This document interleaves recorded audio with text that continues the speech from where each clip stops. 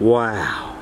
This, this is incredible. Welcome back to California, my friends. And specifically, welcome back to Gold Country. We are in a very little known area of Gold Country. Not too many people come up here. In fact, when I've talked about this area, to locals who live in nearby towns. They're like, huh? What are you talking about? But this is one of the most beautiful places I've ever been. The old historic ghost town of Humbug, California. Or at least that was its name until they changed it to the much better sounding North Bloomfield. Check out this old smithy. No blacksmith working on horseshoes today. This ghost town is all contained within the Malakoff Diggins California State Historic Park. Dude, this is one of the coolest places ever. I came up here mostly for just research. We were just gonna look and not film it all because I want to come back and do a very detailed look.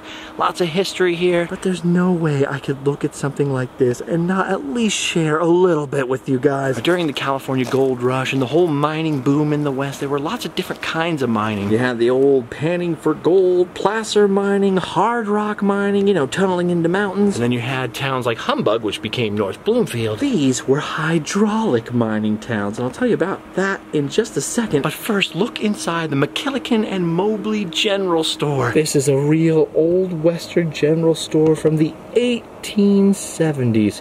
Of course, the door is closed. We can't go inside. But we can peek through the windows at all that awesome stuff. And look! Through this window, you can see the inside of what was then the old post office. Look at all this stuff left in here.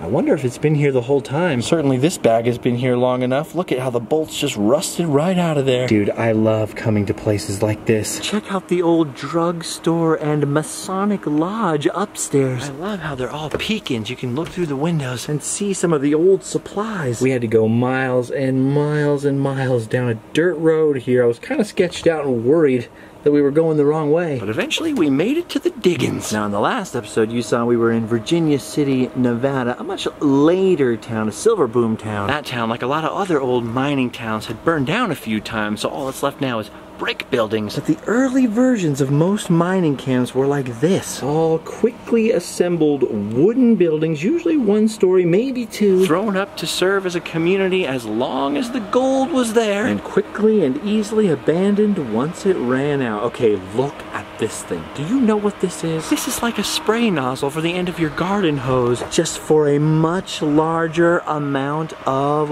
water. They would channel rivers and streams or sometimes create lakes with giant flumes to funnel the water into massive pipes and into nozzles like this and literally blast away the sides of whole mountains. That's why hydraulic mining, because of the water. It's like putting your finger over you know, your thumb over the end of a garden hose and spraying away some dirt. Just on a much more massive scale. And on the way out of here, you'll actually see what's left.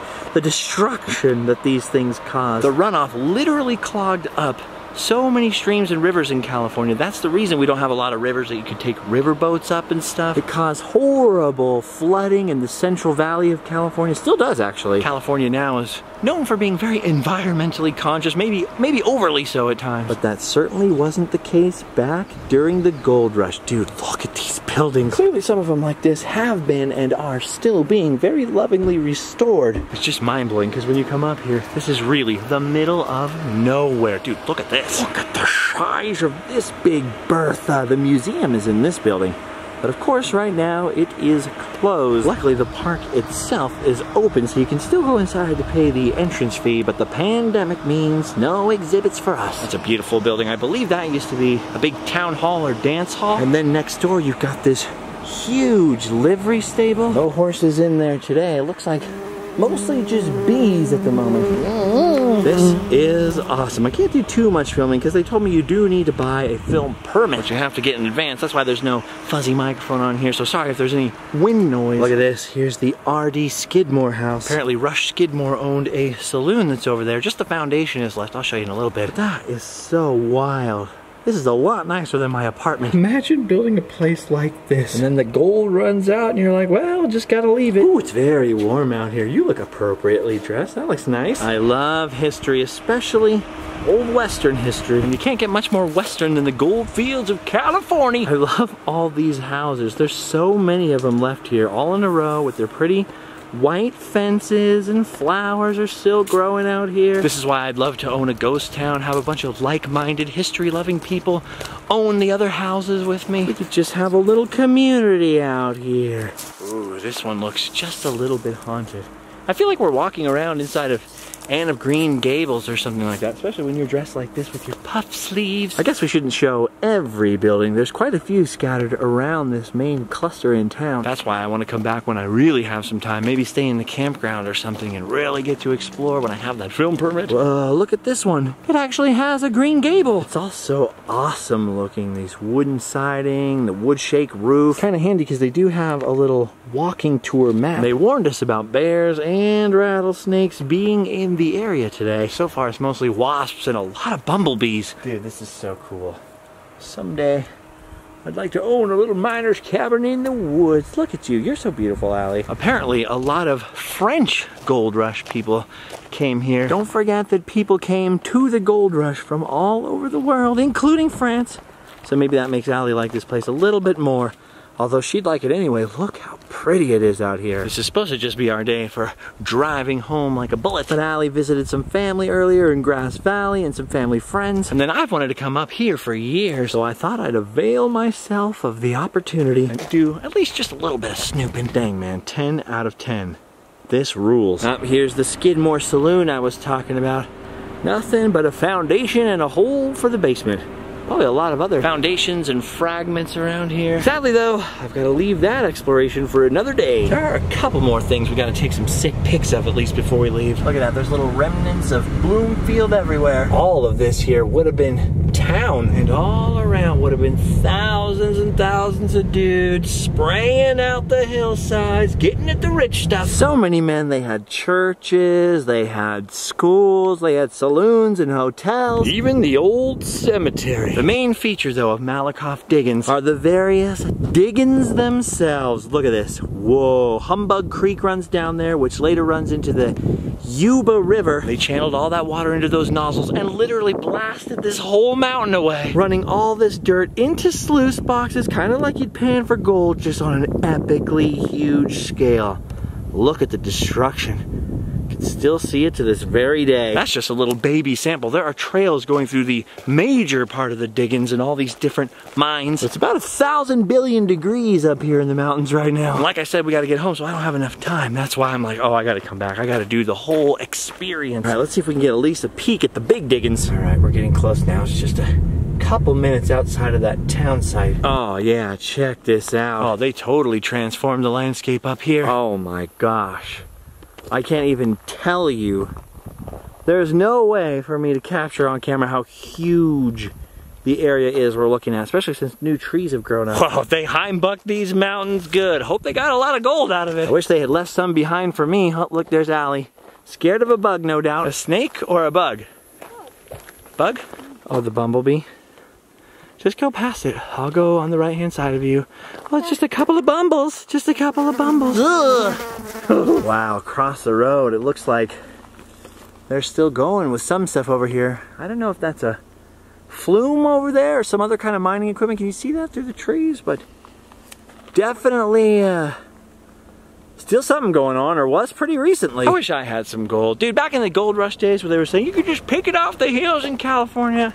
Knowing me, I'm pretty sure I would have come out here and uh, tried to get rich too, just for the adventure of it. So even though the miners did these mountains dirty a little bit, I can't really judge them too harshly because back then, I mean, who knew it was gonna have those kind of lasting consequences? You know how Yuba City, where you grew up, has flooded like a whole jack ton of times? It's because of this, literally, because of these diggings. All right, there may or may not be one other lookout over here from the road, but uh, we're now on the bumpy Jillian Mile gravel road back to civilization. It's not too bad, a little washed out in some spots. I had no idea we were even gonna have to be going off-road when we came up here, so I was like, are we lost? There's no cell phone service up here. Ooh, heck yeah. Allie just saw a huge spider crawl down there. That's why her face was looking like that. But look out the window. Look at the size of those diggings. I would show you the, the spider. The size of it was pretty sizable too. I think he's coming home with us now though. Sorry. This is a whole separate valley from the one we were just standing in. Look at that. It looks like Bryce Canyon or something out there.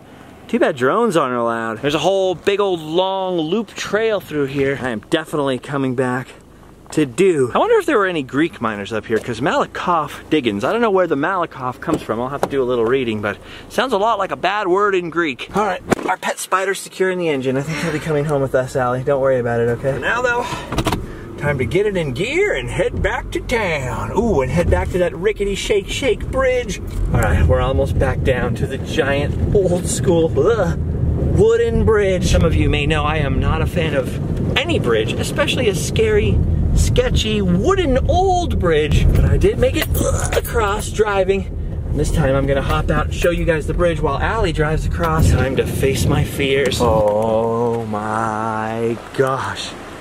Look at it. This would scare me any time of day, any day of the week, any week of the year. Just to walk across, much less take a heavy car across. Weight limit four tons. Oh, I hope the quarantine doesn't betray me too much. I might almost weigh that much now. I like how it says too dangerous to swim, but there's tons of people down there swimming. Okay, here we go across on foot. No problem. At least it's nice and wide right here. Oh, wow, that is beautiful. How old do you think this is? It looks pretty old. Oh, I don't like that view. I don't like that view at all. Oh, it smells old too. Look at all those people down there in the old swimming hole. Oh, the car just passed me. Whew. All right, here comes Allie now. Coming across the bridge. Oh, I can hear it making noise.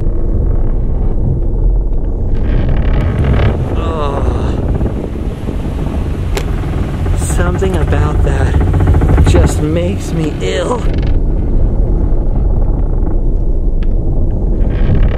Whew, it made me sick to be on there when that one lady passed me. Those people look like they didn't care at all. They were like, ah, whatever, car, us, no big deal. Whew, all right, I am buckled in. I am ready to go again. Whew, and now that Allie has put up with the wilderness, were you scared, by the way, crossing that? Not really. Oh, dude, I'm We get to travel back up the twisty but paved at least road back to civilization so she can visit her favorite town of Nevada City. I can go say hi to my uncle maybe, away from the car, and then we'll have to head home to Southern California. All right, guys, hang on there. Watch out. Don't get too car sick. I know the road's kind of twisty. Make sure you keep yawning. Keep popping your ears. Ah, there we go. Nevada City. Allie's favorite. What'd you say? Get a furry steering wheel. A furry steering wheel? That's okay. Allie's gonna go to the candy store, we'll look at the bookstore. She has sort of a routine down here. Kinda weird, her favorite store is closed down. The couple are elderly think the husband has COPD. He wants to do a little traveling. It's gonna end up like all the other cool stores in Nevada City and become a hippie shop. You can buy a lot of beads and crystals up here. This town's definitely been taken over by people fleeing San Francisco. The funny part is then they bring San Francisco with them. Ain't it always the way? Well, at least I can appreciate the buildings and the gold rush history, even though I'm not quite um, crunchy enough. Hey, the bookstore down at the bottom of the hill is open. Of course, it's only open for pickup or, as it says, brief browse. So we're gonna mask up and get to briefing. Nothing like a good bookstore. Oh, I've been looking for this one. This building actually has an interesting history. It used to be the old assay office, and it's actually the assay office where they first determined all that rock from Virginia City had silver in it. So Nevada City, California had a hand in creating Virginia City, Nevada. Boy, that's confusing. But they got all kinds of mining artifacts in the parks around here, and somewhere in here, there's a plaque dedicated to the ladies of the evening. I can never find that one when I'm looking for it. Mark Twain once gave a lecture here in Nevada City. I believe he stayed in that hotel. He gave his lecture up at the theater. So whenever I come here, I always think, I wish I could have seen it back in Mark Twain's day. All right, Allie's headed into the candy store, which means we're basically at our last stop. That's your favorite right there? Okay, I can't wait to get home and take a long break from wearing a mask. Well, it's been real, and it's been fun.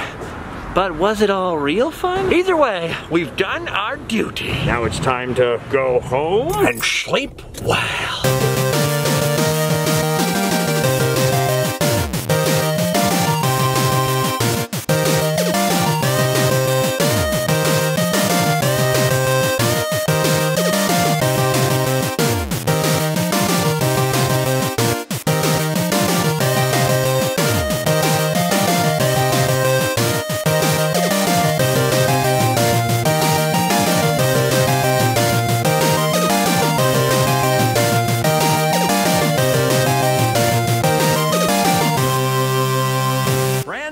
The makers of stuff. Get your very own Randomland Sidekick.